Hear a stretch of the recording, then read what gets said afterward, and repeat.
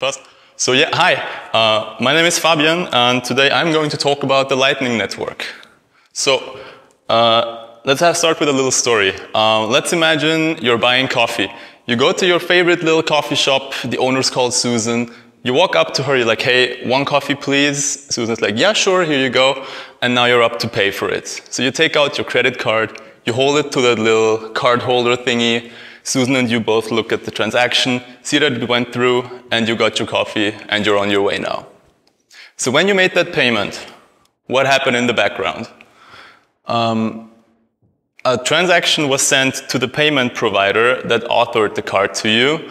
Um, it checked your funds. Susan had to pay a small fee of like 1% to 2% and maybe some extra, and everything went through, and that was it.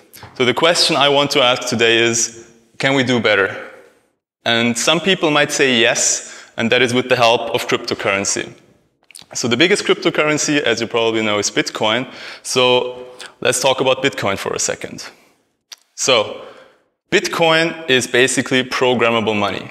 And in my opinion, Bitcoin has some properties that make it money that is better than any money we in society have ever had. Bitcoin is permissionless which means that no one can stop any transaction that you make. Bitcoin is completely trustless. No one um, can take away your money that you have. Bitcoin is borderless. You can just send it around the whole globe in a matter of minutes. And everything happens without a middleman. So we cut it out. But you probably know, or you might say, that there is still issues with it. So let's take a look at this. This number here, 193. This is the amount of transactions PayPal can handle in a second, or does handle in a second, rather. This number here is what a payment provider like Visa handles in a second. Kogo even up higher a lot, but this is what they just have to handle. You want to know what that number is for Bitcoin? Three to seven. We're not going to get very far with this number right now. So let's take a look at other things. What about the fees? When we bought the coffee right now, we had to pay 1% to 2% that Susan took over for us, and usually something small like 30 cents to make it worth the while for the payment provider. What about PayPal? Um, 2.9, just the same thing, just a small percentage. But with Bitcoin, um, due to technical reasons how the system works, from time to time you have to pay more or less. I'm not going to get into this right now. But we have seen this before in the craze in 2017. The price can go up to over $100. This is obviously also not really well suited for smaller transactions. What about the transaction time?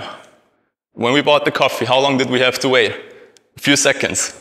Same thing with PayPal. You just click and the money is going to be wherever it should be in a matter of seconds. But in Bitcoin, due to the way the system is programmed, it can take up to an hour for you to be 100% certain that the money is going to be where it should be. This is also kind of a problem. I think you're not going to want to wait in the coffee shop for over an hour. So, enter the Lightning Network. the Lightning Network is a proposal from 2015 that is set out to solve these problems exactly.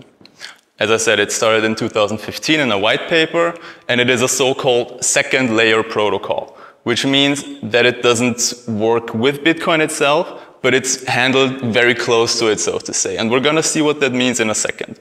So in a lightning channel, so how it works, you open a lightning channel, and in this channel, you can then transact money from side to side as much as you want. And in this channel, you have properties. If you make a transaction, the transaction is basically free. You pay fractions of a cent, if anything at all. The transactions are completely instant. You don't have to wait at all. They are as small as you want. You can also just pay for fractions of a cent, and they are scalable to a global level. If everyone in the world would use this network, it wouldn't be a problem. It could just handle it. So let's take a concrete example of how Lightning would work.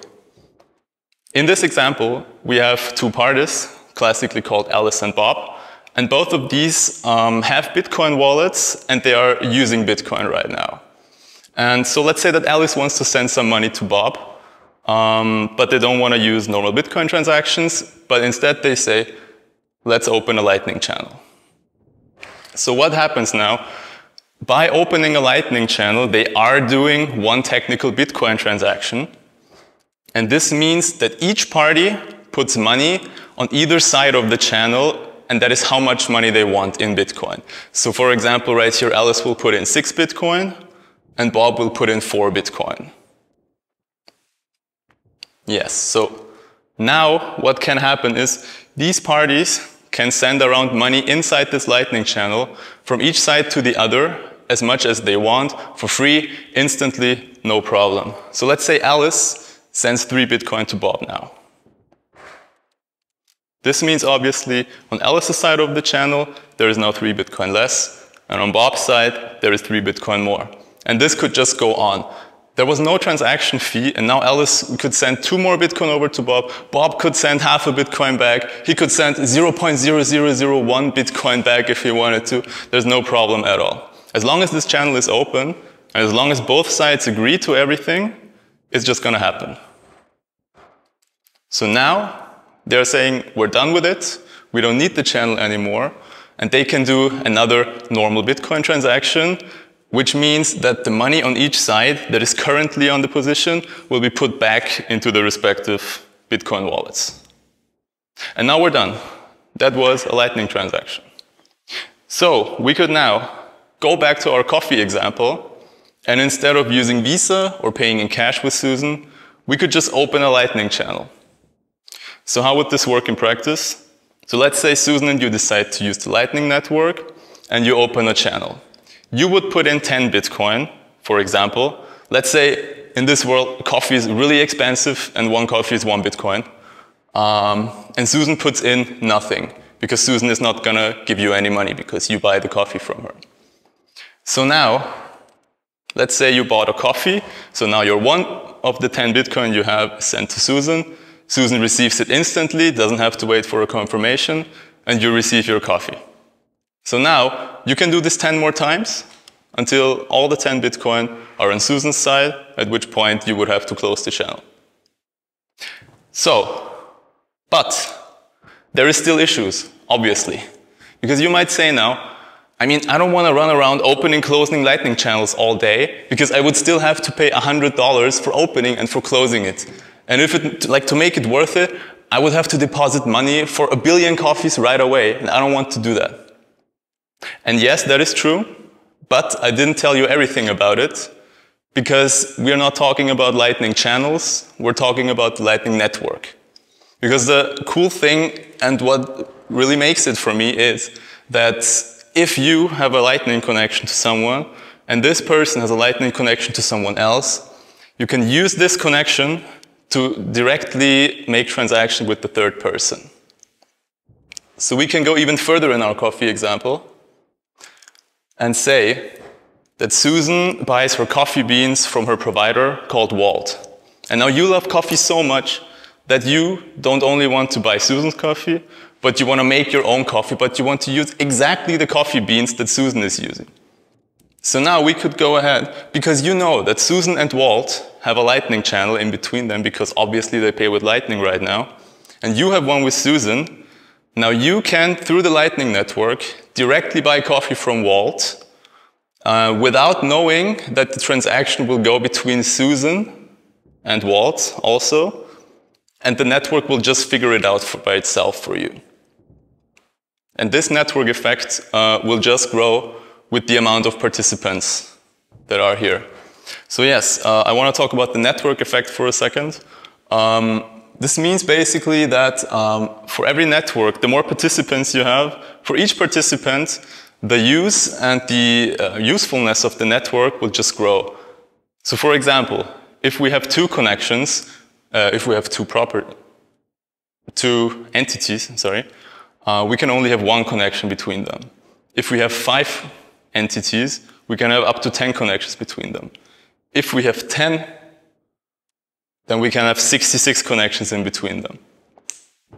This just elevates and elevates the usefulness. And this is what it did for the telephone and for the internet, and it will do the same for Bitcoin and the Lightning Network. It already has for Bitcoin. So what is the future going to look like? The, The truth is, we actually don't know yet how the Lightning Network will really work on a global scale, but a lot of smart people are already thinking about it and trying to figure it out. But there is a lot of opportunities to figure out ways to start companies wherever you want, you name it.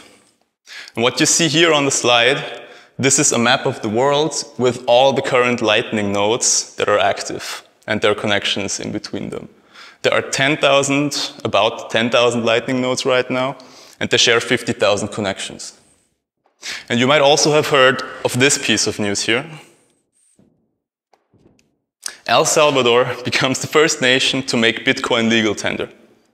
And this is huge, because this means that even if just a, small part of El Salvador starts using Bitcoin and the Lightning Network, this will mean up to like a millions of new users of the network, and the network effect will just explode.